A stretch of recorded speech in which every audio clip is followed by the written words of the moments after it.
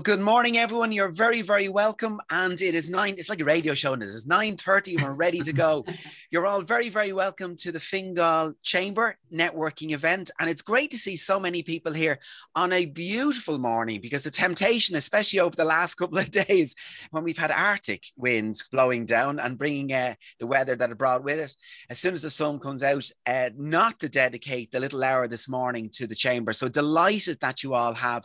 And we're promising We're going to make it worthwhile. So, my name is Noel Davidson. It's great to be back again. And we have a packed agenda for the little hour that we are together. We have our guest speaker, we have our networking events, and we're going to be using the full power of Zoom. Most of you will have realized over the last couple of months that a lot of the features have upgraded, and we'll be going to use them to their full capacity today and on a test basis. We're going to see what works, what doesn't work, and get your feedback on it. I have great pleasure to uh, to welcome Andrea Malloy, the president of Fingal Chamber, uh, to open this morning's event. Andrea, how are you? Good morning. Wonderful. Thank you so much, Noel. And thank you everybody for joining us this morning for our Fingal Chamber virtual networking event. As the large and, uh, region's largest business organisation, Fingal Chamber helps businesses of all sizes to grow and develop by providing members with opportunities to influence policy, connect with businesses and professionals, train their workforce, promote their business, and trade internationally. The Chamber is committed to provide, promoting local economic development and enhancing the economic prosperity and quality of life across the region, whilst ensuring local businesses have a competitive advantage.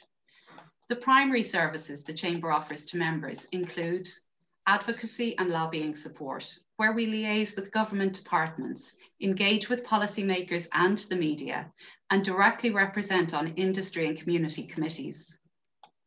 The Chamber also coordinates upskilling and training programmes. This is provided through the Fingal Chamber SkillNet, where we operate and promote subsidised training determined by business needs, customised and delivered locally. We're also very proactive with our networking and events programme, where, you, where we host regular government and key stakeholder briefings, a business networking series, and a variety of social events. The Fingal Chamber website has an exclusive members information section. This allows members to network online, profile their business, share news updates, events, job vacancies, and any special offers with the business community. Over a year ago, like many, our operations were forced to change, but the Chamber quickly adapted to working with COVID 19.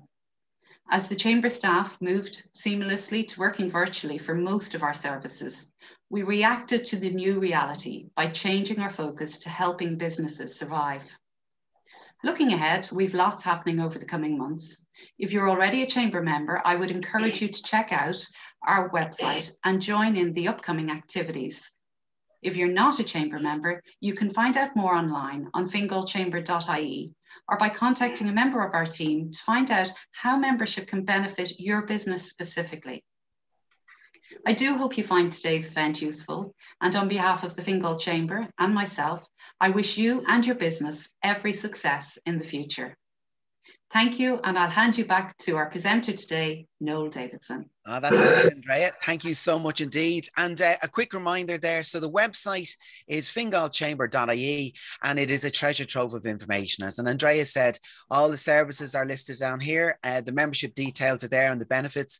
Um, there's the member login at the top. But you can see there's events and news and the whole community is there. Please keep an eye on the website because today is really only a taster of something that goes on all year round. So uh, great to have everyone here. I um, can see some great um, friends and colleagues and uh, and many people that uh, I've known over the last couple of months where we've met virtually on Zoom, and the world really has changed. Um, and uh, we were only having a chat just there off camera about how things are going to be over the next couple of months and the hybrid style events that will probably be both live and then online. So we want your input and your your feedback on how today goes. So using Zoom, um, we have everyone muted at the moment, but it's just it's really for everyone's safety that you don't accidentally unmute yourself and say something in a in a live audience that you don't want to say. Um, but you can unmute yourself by raising your hand if you have any questions. So underneath your screen, you have the reactions section. If you click on that, there's a line of emojis where you can say you love it or you put the thumbs up, whatever, they stay up for around 10 seconds. So they're like a reaction. But underneath that, it says raise hand. If you do that, your hand stays up and we can see you and we can unmute you at any stage. You can also use the comments. So we'll see, I will keep an eye on the comments. And uh, we've got everyone there actually saying, so Fiona Pepper saying good morning, everyone. Neil Gallagher saying morning all. Robin Webster's here saying good morning. And Kevin McFeely saying looking very comfortable there, Shay. So Shay, you're lying back too far there with a hand up. That's it. We see you there. Absolutely. There's no hiding on Zoom. And he's got the coffee and everything this morning. That's what it's all about. So please embrace the technology, use the chat, and raise your hand if you want to ask a question. And by God, will you want to ask a question? Because we are thrilled to have Gillian Clancy with us this morning. So, Gillian is from Jenkinson Logistics, and she took on a brand new role uh, as a sales role and when would you do it? Yeah, February last year, just before COVID hit. And that would stop a normal person from a sales point of view. She had the car ready to zoom around and to get out and start generating sales. But she moved on to a different type of Zoom uh, and Microsoft Teams and the phone and everything, whatever it took, because it didn't stop her. And she has been an absolute re- revelation um, on how she's dealt with the challenges faced with logistics and getting the thing, whatever that is, to the person that wants the thing. Gillian, you're very, very welcome. Good morning. Good how morning. are you? I'm I'm very well. Thanks very much for having me. I'm delighted to be here. Everyone looks very bright and sharp, and like it is, it is a lovely sunny morning. So hopefully everyone will stay awake while you're listening to me for the next couple of minutes. Well, listen, you're very, very welcome. And I think uh, let's kick back because the whole purpose of this morning is to inform, it's to inspire, and yeah. to network. So let's get the information out of the way.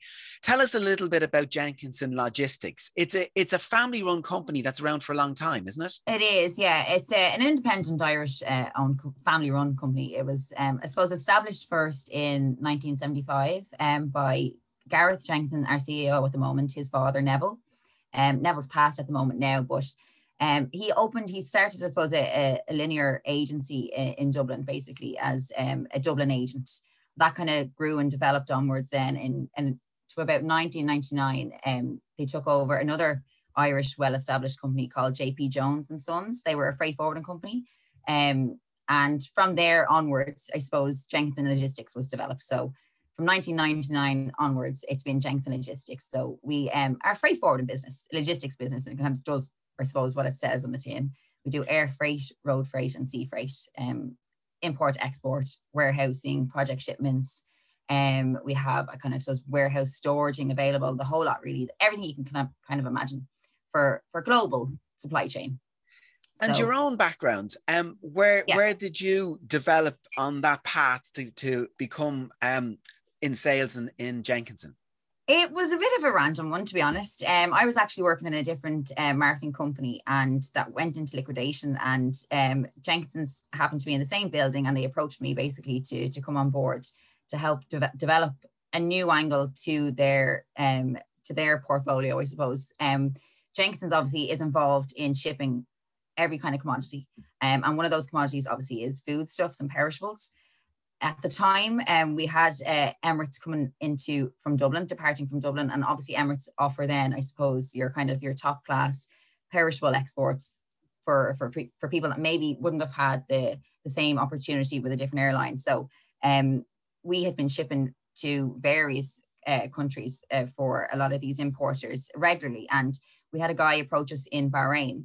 Uh, he actually came on to us to see if we could help him build, I suppose, an Irish portfolio for export purposes into the Middle East. We would then build a portfolio, or I would build a portfolio in Dublin from Jenkinson's, um, and he would then sell the portfolio throughout the Middle East into retail outlets or, or food service import buyers, say. Um, obviously, Irish product being a very um, attractive, uh, I suppose, in terms of your green and your clean, and you've got all the, the origin green and Bord Bia and stuff behind us. So um, that really opened up new doors for us. So I had been building the portfolio in in Jenkinson's as part of a trading name called Global Irish Food Traders. Eventually, we kind of turned it all back into the one to, I suppose, the, the freight forwarding business, the the food, I suppose, portfolio all became one, I suppose, in sync together. And uh, we kind of have been introducing import buyers to the Irish suppliers now for the last couple of years. we did actually sell on uh, some of the, the items ourselves, but like I said, we we stuck to our guns and said, okay, well, we'll keep with the freight forwarding side of things. So if, if an import buyer wanted to come on to Jenkinson's to say, I'm looking to source pork or beef or whatever it might be, I'll then introduce them to, to an Irish supplier and we'll be the link in the chain in, in terms of getting everything in motion and helping support them in terms of paperwork and what they need and how they should pack it and all that kind of stuff. That's where I started in terms of so I am I am sales and, and I suppose a bit of marketing, but a bit of everything in Jenkinson's. But um that's where I came on board was the food stuff mainly. So I've kind of branched out in terms of other commodities and other industries then since then. And many people in the room will have challenges that they all face in the last in the last 12 months and uh, and beyond. And i love the way that you used uh, chain as a, an analogy there because logistics there is a lot of links to those chains. And if one of them fall down it is uh, it causes a problem and i think in everyone's mind in the last week or two we can remember a very large ship getting stuck between two banks in a very narrow canal. How did that kind of affect you? Because you mentioned foodstuffs earlier on. Was there- it is, yeah. Like you can imagine if you picture, obviously, everyone has seen the picture of that canal and and, and the, the ship that was stuck and the poor guy, or it was actually a woman um, um, steering it basically. But it's there is a serious amount of commodities that would have been on that that ship itself. The thousands upon thousands of containers some refrigerated, some non-refrigeration, but you would have had everything from pharmaceuticals, food stuff, furniture, machinery, everything you can kind of possibly imagine. A lot of it would have been transiting through that canal um, going onwards. So it was a case of the, the blockage is in, in terms of delays for the containers or the ships in the background trying to get through that couldn't, they were held up. Their commodities were then held up. Customers were waiting for that stuff for probably a couple of weeks longer than they should have been. And a lot of the time, these things are temp- uh, time sensitive. So, as in, you could have a container of beef, say, that would be set to two degrees and its uh, shelf life is three months. And you can imagine yourself, if it's stuck for an extra month, you're not really going to be selling that beef by the time it arrives to its destination. So, um, in terms of the actual shipping costs, they they rose. Um, there was it's there's always going to be surcharges when things like this happen, and um, there's always going to be delays onwards there's a serious lack of actual equipment at the moment in terms of getting specific types of containers. Um, there's, uh, I, if anyone here is uh, would be involved in any kind of sea freight shipments, um, they would know that reefers is in, in refrigerated containers at the moment. There's just a, a real lack of them there, and it has been a struggle for a long time now in terms of getting securing those kind of bookings for customers. And when something like that happens, it makes a bad situation even worse. So it's again, it's just it, surcharges, delays. But again, it's just stuff that would kind of happen and you, you do get through it. There's always alternative routes and um, different ways to kind of get around something. So that's probably something that we would try and do our best to, to kind of steer people in a, in a new direction. Yeah, and we're going to get on to te- technology, to some of the tools that help you. But I love the fact that um, uh, we mentioned about the Suez Canal. And would you believe, um, just for a little bit of fun, there actually is a website that CNN brought out because so many people were saying, How did they crash the ship? Well, actually, there's an online simulator when you can actually steer the ship yourself, right? And see just how difficult it is when the wind starts to blow.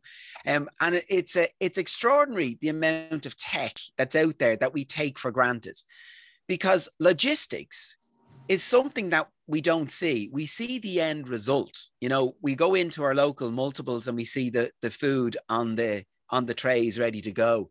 Um, or from the, the perspective of the people here in the room, they may have a product or a service and they're trying to get it into the hands of their clients or their customers. So your role in sales, and from a sales point of view, you can have the most amazing business on the planet, but if you've no if you've if you know marketing, no sales, you've no business.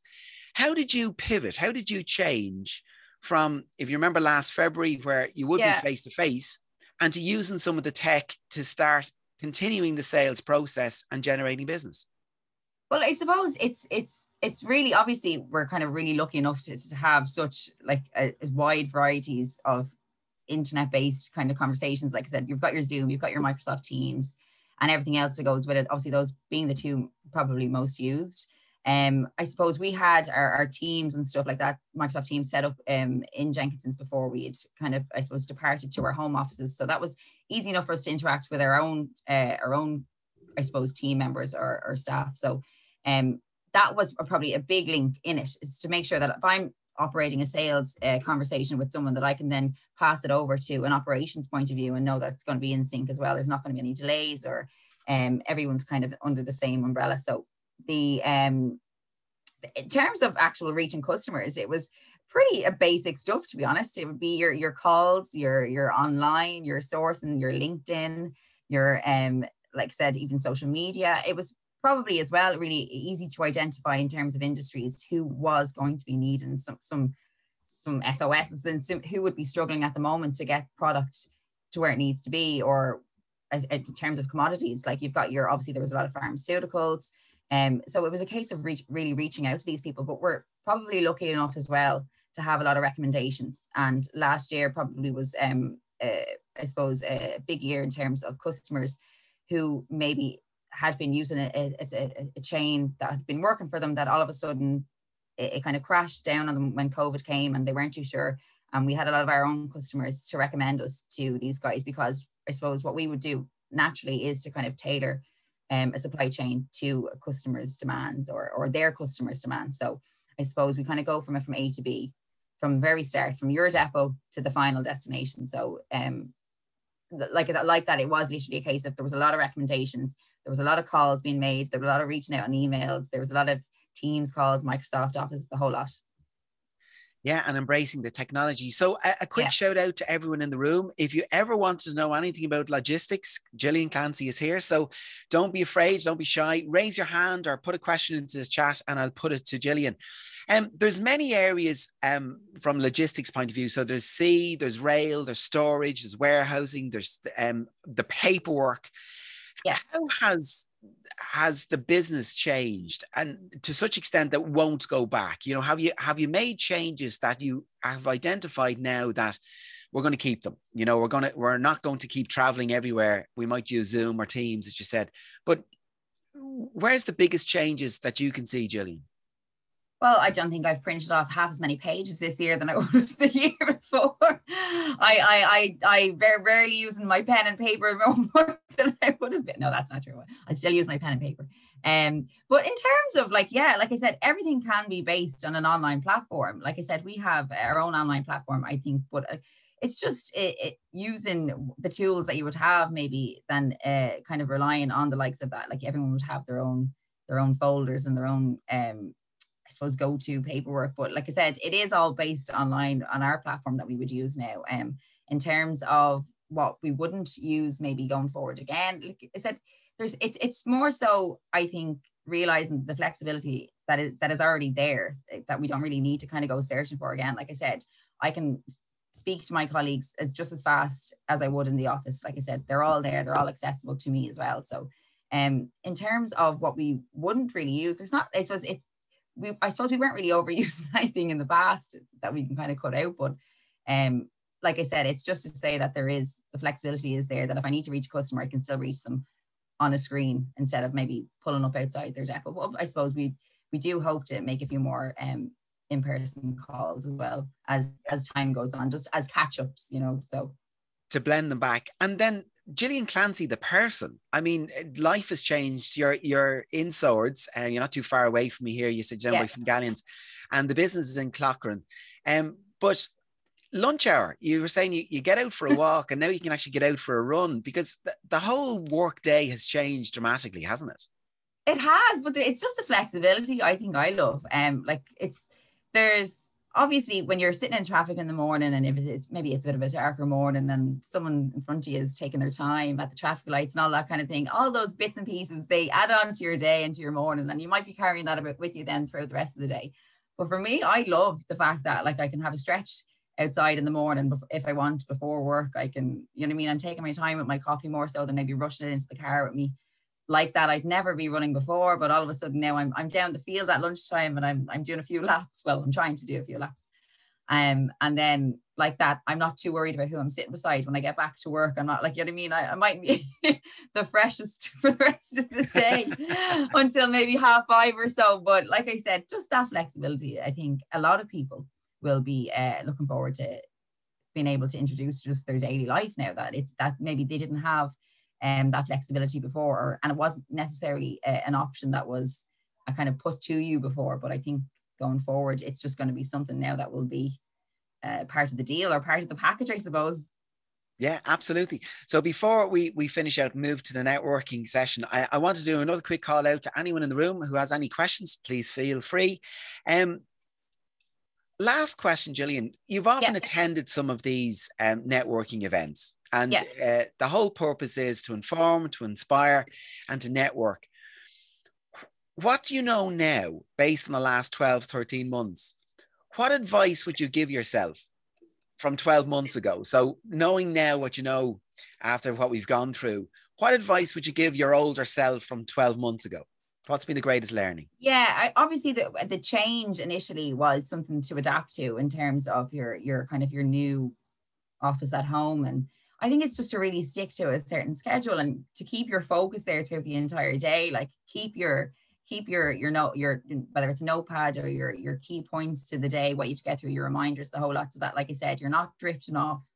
No other sounds are kind of coming in. But then again, stick to it. don't overwork yourself as well. Don't run into your lunchtime if you're if you're having a conversation. Pick pick yourself up and, and leave your desk as well. And make sure you are getting up throughout the day as well. Because I find I think a lot from last year where I was more I think nearly more paranoid that if someone if someone rang my computer and I wasn't physically sitting at the computer at the time when they rang, kind of, should they probably think I'm not even doing anything now, you know, that kind of attitude. But um, I think it's just it's like I said, it's just to make sure that you're actually looking after yourself as well as um making sure that you're kind of getting your bits and pieces done throughout the day is to actually not not to kind of stare into your screen too long to get up and maybe move around a little bit more.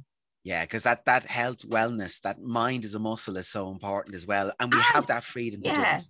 And keep in touch with it as as much people as you possibly can in terms of throughout the company. Like I, there was times there where I think I hadn't spoken to some of the other um teams for months at a time, and I would find myself now, like as in if if I'm if I have a question to ask them, I might I ring them. I obviously ask them the question, but before I ask them the question, I'll have a 10 minute chat with them because like I said, I would have been chatting to them in the office. I would have been catching up with them, fine now, like there'd be people's communions they'd be looking forward to and all that kind of stuff. But that's the stuff now that I think people are missing out on. So don't be afraid as well just to have, I suppose, a bit of a chat with people as well as sticking to strictly business only. Yeah, and keeping in touch. Well, the comments have started to come through. So Fiona Pepper, one for all awards, is uh, completely agreeing with you and saying so much more active since we've come home. It's great to use that commute time for something different. You know, there's nothing yeah. worse than being on the M50 for nearly an hour in the morning, an hour in the evening, when we now know we can be more pro- pro- productive yeah. and run through. Um, we knew it happened the B word has been mentioned, Gillian, you know, and I, we were kind of joking beforehand and said, "Will we give a prize to the first person who mentions it, you know, and Fiona Pepper, we got, if we'd only known, we could have got a one for all for from you. and it would go to Kevin McFeely because Kevin has asked, is there any improvement moving goods as a result of Brexit? I definitely think there has been now. Um, at the start of the year, and we all talked about it last year, and we all basically anticipated the, the backlog that we would have we all knew the delays that we would be faced with in terms of transits and goods actually reaching the point of delivery that they they've been requested for. But I've definitely noticed that it's not as um, people aren't necessarily kind of as, as, afraid of it in terms of oh I have to get this pallet here or I have to get this full load here. It's it's it's it has kind of lined up nearly uh, with itself. There is definitely still delays. There's no doubt about that, and it does take longer. Like you could have something that would typically have been maybe to the UK day one for day three, collection day one, delivery day three. It might be depending on if it's a full load or groupage. You see, this is where I think um, the a lot of the complications have come about. Whereas if you have a full load, if, if you've got, like I said, 24 pallets maybe on a trailer or, or a, a, truck that's going over to the UK or coming back into to Ireland, say, the, the driver has full control over that truck. It's it's there's no they their delays should not be anywhere near as bad as the likes of a groupage load where one or two pallets. So I think it's unfortunate that the, the guys who are, are shipping over smaller loads maybe are, are faced with um, longer routes and longer transits. But it has cleared up definitely in the last uh, even two months, I think, from from January, because January, like I said, everybody knew it was going to be a bit of a a show, but it, it, it, did, it calmed down and it, and it has, uh, I suppose, ironed itself out a bit. Yeah, it's good. Kevin, I'm going to bring you in actually, um, if it's okay. Kevin, um, what um, what's the business, and and are you affected by uh, any transport issues at the moment? Uh, can you hear me? Yeah, perfectly. Yeah. No, the only reason I say that is because my wife um, works in that business. She works for Ace Express. And, ah. Uh, my God, they were in through chaos for weeks, 12 hours a day. Now, her mother got sick and COVID and all this sort of thing. So she actually took three months leave of absence, but she just had to get away from it. She just found her stress levels were going through the wall. Like I said, 12 hours a day. Like she literally had trailers sitting in the yard in the UK for two weeks and it was not moving. And it was all as a result of the UK end was not ready for Brexit. They oh, no, yeah, that fine, we're going, we're going to leave Europe and everybody else can deal with it. But they didn't realize that they would actually have to do with all, all this because, and they just weren't ready for it. And she just said, like, like she'd have a driver sitting in a truck in a yard going nowhere for days on end. Yeah. So that's why I was just wondering. Like I said, she's been out of it now for since the end of January, and uh, so I just said I just said I'd ask the question: Is is it getting any better? yeah, it, I think a lot of people are still facing the frustrations of it, like I said, and it's it's frustrating, obviously, for to be in the industry to try and explain to somebody why those delays are happening. Oh yeah, and and, yeah. and, and it is as and I, I can imagine that you like as in for those people that were doing the twelve hour days, and I know even from our own our companies, they were saying to me at a time we have a, a new Brexit management team basically that we um, have have hired and and trained up and um uh, the guys were inundated basically with emails it was constant there was you would they would be talking to the woman and they'll say listen i've got about 40 emails there I haven't read that just come in yeah. the last half an hour kind of thing so they do definitely had had a really big task even and still do but um in terms of uh the delays i'm hoping as the year goes on we'll um it'll ease off still a little bit Kevin, thanks a million for the question. Really appreciate it. And thanks oh, for coming on screen as well. Um, you know, just before we leave that subject, we um are personally myself I bought some furniture online and it was coming from Holland. And we got a chance to trek it. And normally that would have went land bridge across the UK. They didn't. They yeah. drove to France. No.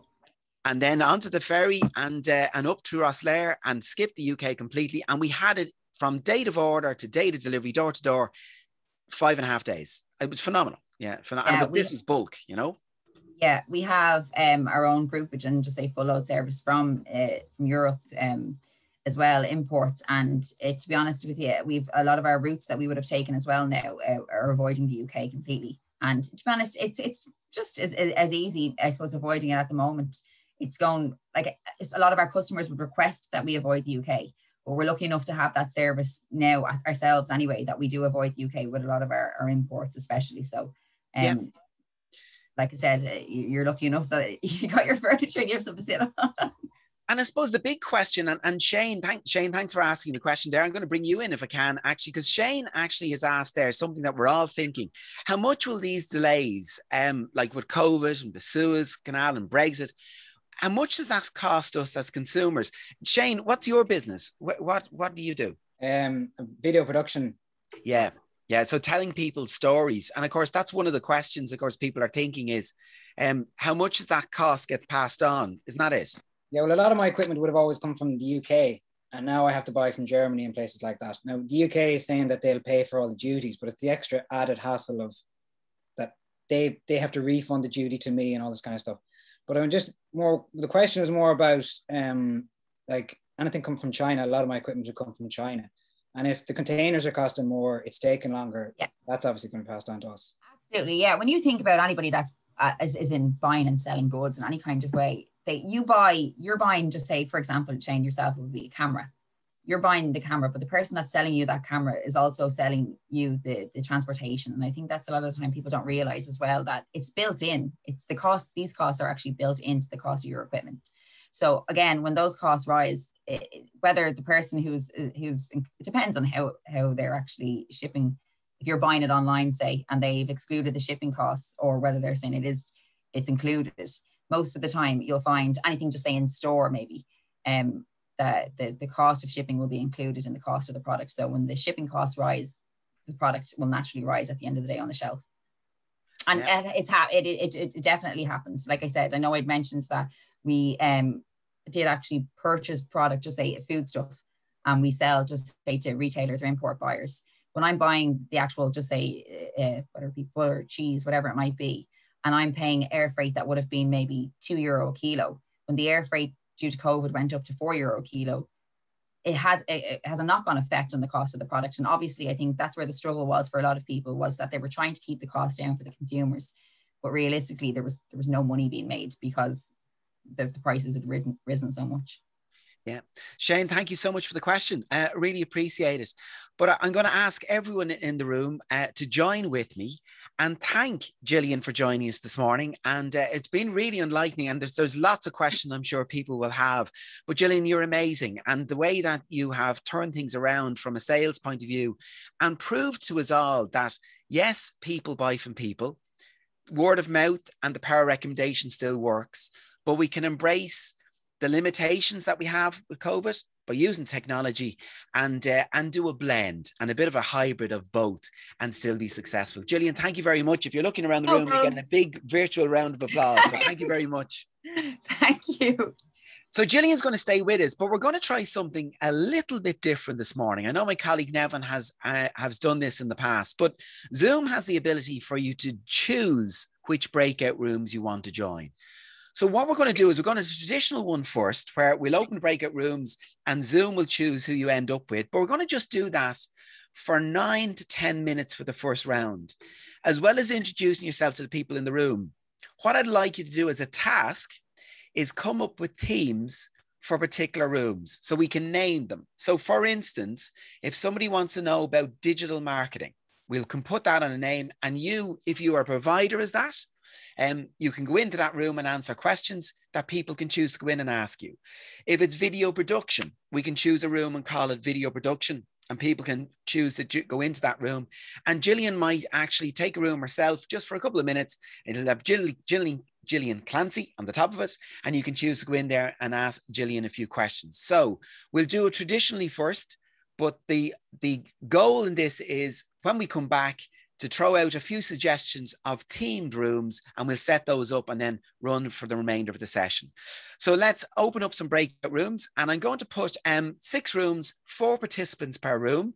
Introduce yourself to the other three people in the room that you'll have. And when we come back, I'll ask you then to, um, to suggest some themes from some rooms that you could join. So the breakout rooms are now open. We'll give this first round 10 minutes. Off you go.